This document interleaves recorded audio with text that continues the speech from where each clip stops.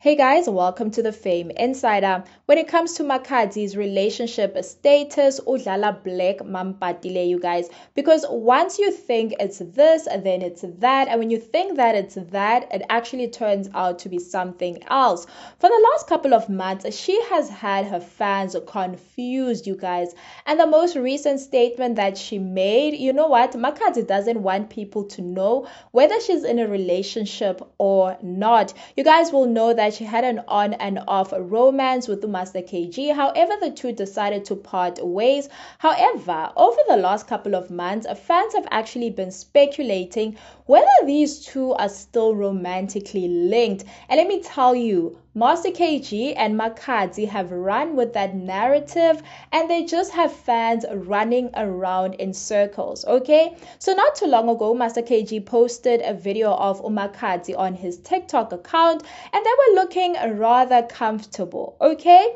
And then after that, while Makhadzi was out in Europe on her tour, she posted a photo of Master KG. Obviously, she hid his face and she had this message, I'm homesick, I miss you, my love. And obviously, this had fans believing that maybe they are back together. But yo, let me tell you, okay, Makhadzi is stringing people along. Hey, I think at this point she's just like, guys, Leave my relationship status alone. Otherwise, you're going to be more confused than I don't know what. So recently, you know, Makhadzi dropped her album A Miracle Child, and you guys, it's been so well received. Fans are saying, you know, this is actually some of her best work yet.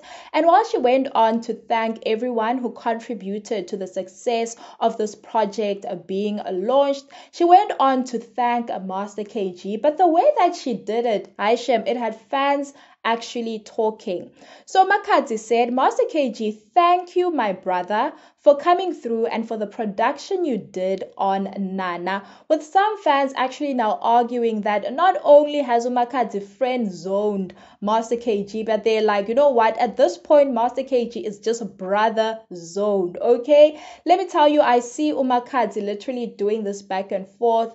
She clearly doesn't want people in her love life, and at this point, I think Natinje, we must just drop it and focus on other things. Okay, Makhadzi recently did say that yeah, she wants people to buy her tickets for her one woman show the same way they were after Chris Brown's tickets. You guys know that she will be having her one woman show in December, and she has urged the public to yay go and buy those tickets. She doesn't want to be out here begging and crying, you know, for you guys to do that. So you know what? I think let us just lay back a little. Let's stop focusing on her love life. Let's rather go buy our tickets and enjoy her music because this love life, Yaga Makhadzi, is just going to have us confused, okay? It's just going to have us falling and tripping over our own feet. So, nje, we are butting our way out of Umakhadzi's love life.